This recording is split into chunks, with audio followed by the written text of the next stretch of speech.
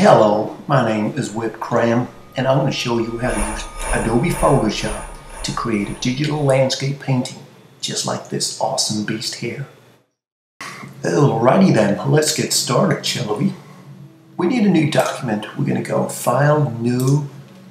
We're going to make it 210 millimeters by 120 millimeters high, 200 pixels per inch, white background. Let's get started. It looks something like that. Then we're going to be using a brush. Shortcut for brush is B. You hit B, you got your brush. We're going to go down here. We're going to start with a sunset color, a nice orange. So I'm going to click down to here. We're just going to make our way down, making darker and darker. We're going to start somewhere nice and bright. Click on that. I'm going to give myself a large brush. I'm just going to choose this one here. First one going to paint across here. You can see it's going to take a very long time. So I'm going to use the close bracket, hitting that there, and I'm just going to cover the sky up. It's going to be my background sky. What I'm going to do, I'm going to click back in my color and make it a little bit darker. Just using my airbrush up the top there, giving it a slight vignette effect. Right, it's done. That's my sky. I need to create a new layer down here, second from the end on the right is the new layer. I'm going to type in mountains. Mountains is a tricky word. I'm going to just type in mounts. Right. Let's get into it. Make sure I'm on this layer. Making sure I'm back on my brush again. I'm on my brush. And I want to go to a darker color. Slightly darker. Now, you can see my brush is very large. I'm going to make it smaller, but I'm going to change it. Mountains do not look like that.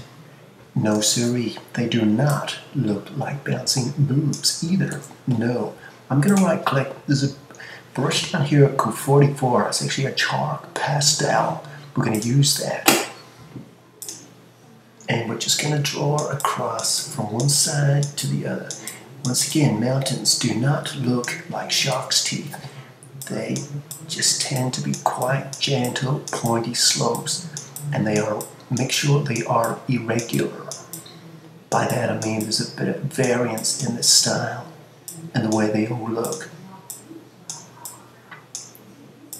Gonna chop and change a few things there. We can tweak it as we go. Bit of variation in there. That's looking fine. This bit there, I might just fix that right. You can see this is going to take ages to color in. It's going to take me a very long time. I haven't got time for that.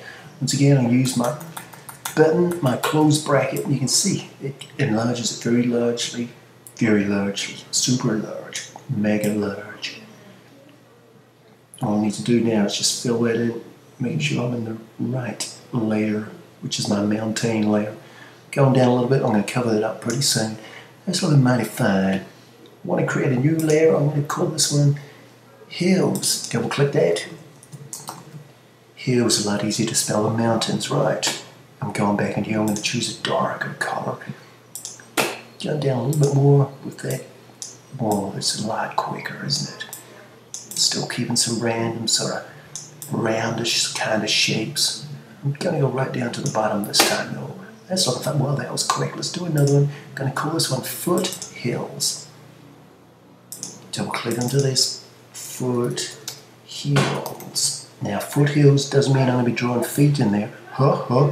That's a funny one. No, sorry. Gonna make it dark again. We're just gonna paint in here some foothills. There we go. So there we have it across there. Now I'm looking at this thinking there's a lot of gaps here, big large gap. I might just fix that. I can go V, which means I just click on these layers and I can shuffle them around a little bit just like that. How convenient, right. Here we go, we're gonna just about finished now. Got a few more things to do. Create a new layer. I'm gonna call this one trees. Now this, people say, why do you, why do you draw like this? It reminds me of a special place. I said, yes it does. This is actually from New Zealand. I was in New Zealand working with Peter Jackson on uh, his Hobbit movie. And uh, the scenery is very much like this beautiful scenery. Right, I'm to create some um, trees with my brush again. I'm to right click. I'm to do it over here. Right click.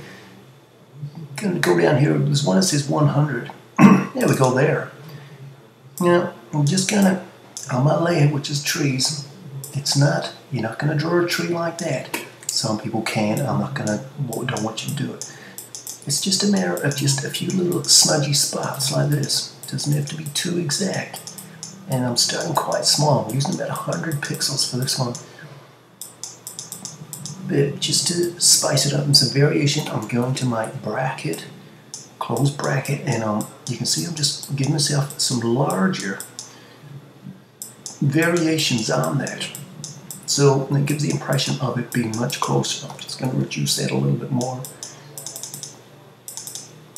Don't have to be too exact. There, there's some trees. How about a house? Now, a house is a little bit trickier. I'm going to use my marquee tool and I'm going to draw a house up in the sky. Now, that sounds really crazy, but it, it'll work. I'm just going to hold my shift, give myself another piece of that house. I'm going to give it a roof. Now, I'm going to fix that roof in a second as well, but just in the meantime, I'm going to give myself a shape, kind of like that. I'm just going to hit B for brush. I'm just going to fill that in like so. Now I'm going to go back to my lasso tool. And I'm going to to, for Mac Shift and Option. I'm just going to go create a shape and I'm just going to close it off like that. Relatively easy to do. Looks quite smart. I'm going to hit my V because I want to move things. I can shift that right down to that now. It's going to look good. You can see I lose everything else. I'm actually going to go M for marquee. Hit V again. It's going to allow me to shift it. I'm also going to go Control T on a Windows or uh, Command T and on a Mac. And I'm just going to resize it now. I don't want it to be too obvious. So I'm going to keep it quite small. I just leave it down there like that. That's fine. Right. Control D, which is going to deselect things. To create a new layer and call this one grass. Let's see now, grass. It's looking fine. We're almost done now. So what I need to do, we're going to create some grass. This one using the brush, brush again, before brush. There's a brush in the system already. Now with the brush, you need to be aware that the background and the foreground color works together. I'm going to keep that brush quite small at the start. And you can see keeping the brush small, keeping it quite quick, just brushing in some areas there. Now, down the bottom here, I want to fill that in. I'm gonna just shuffle that again. I'm gonna go a little bit darker this time. And I'm gonna start to enlarge my brush. Now i make sure that I'm filling it in. You can see I've enlarged my brush a little bit. Getting a little bit of depth just there. It's important to make sure you do fill in the bottom there. I don't want to see any of the light color coming through. Starting to take shape. Just going to go X again, which brings this one to the front. Click on that. I'm going to go a little bit darker. This time I'm going to make my brush a lot larger. I'm just going to bring that through again, like so. I'm going to make it a lot larger. Do a few this size. There we go. That's really it. It's looking pretty smart. Now, I just want to just duplicate all these. I'm holding Shift, selecting them all, bring them down to here, duplicates them all. I'm going to emerge them. Control E, Command E. Comes together there like that. It gives me a whole file to use. I'm going to go filter. I'm going to give myself a lens filter. Under render, lens filter. I'm going to create a sun spot. Make sure that sunspot is above the mountains because mountains, that's where the sun lives. Gonna go okay? There we are, look at that. Going right through very nicely. I'm going to just duplicate that layer. So I've got a sunset layer. Using Control U or Command U, I can also adjust the hue. Let's see how it looks as a bright blue sky. I've also got every color of the rainbow here.